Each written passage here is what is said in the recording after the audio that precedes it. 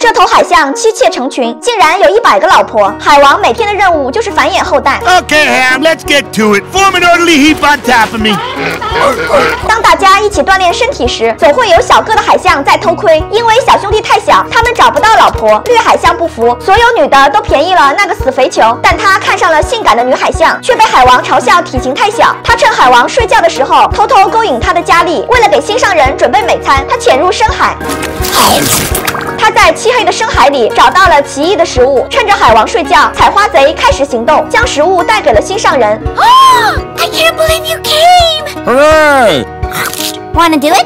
So soon? Oh, 没想到被海王抓到了奸情，他摇晃着小兄弟赶跑了绿海象，看着心爱之人转身离去，他暗下决心，一定要推翻海王的统治。绿海海王发起挑战，所有海象都震惊不已。海王轻蔑地嘲笑他的小兄弟太小了，这瞬间惹怒了绿海象。战斗持续了一天一夜，绿海象竟然被压成了肉泥。海王命令海鸥清理他的尸体，在绝对的力量面前，偷窥者只能默默离开。后宫佳丽继续争夺着海王的宠幸。第二年，海王的幼崽诞生了，但孩子的长相有点不对劲，海王又被戴了绿帽子。